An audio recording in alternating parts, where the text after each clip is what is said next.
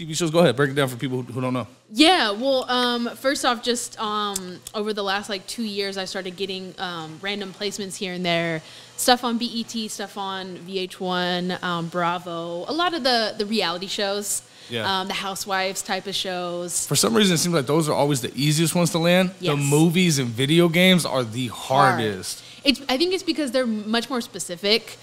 You know, like Real Housewives, it's a lot of just drama and like Right. flashiness. You know what I mean? So it's easy to write a song about that. Right. Versus like a video game has a, such a specific Right. uh, sound that they want. You know. But yeah, I started getting uh, again. It's something I fell into like on accident. I Mm-hmm. didn't even know what a music library was. Never heard of it. But when I started doing the cheer stuff, is how the universe works. Um, what that cheerleading producer referred me to another producer that she knew who was doing um, TV music, was doing Okay. a lot of producing for TV stuff. And so she said, Hey, I need a vocalist. Do you know any? She referred me, and she started hiring me to do vocals and songwriting for the TV stuff. Right. So she would get commissioned by a music library, which is, if anybody doesn't know, it's it's basically an online catalog of music Right.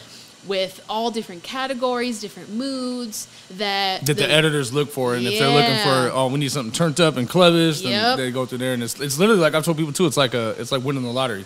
You get put into this music library, and it's just up to the editor of whatever show or movie Yeah. or video game it is to pick your music. And if they do, that's when the paperwork hits and all that.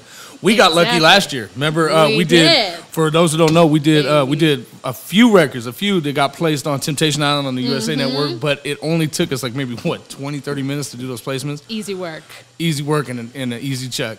Yeah, man. You just make you just make a you know a group of songs that you feel good about. Usually it's um, short stuff. You know, they only use like ten to thirty seconds of most songs. So Right. If you make if you aim to make a grip of beats and songs that are like one to two minutes, Mm-hmm. usually you know pretty repetitive, pretty simple, pretty catchy.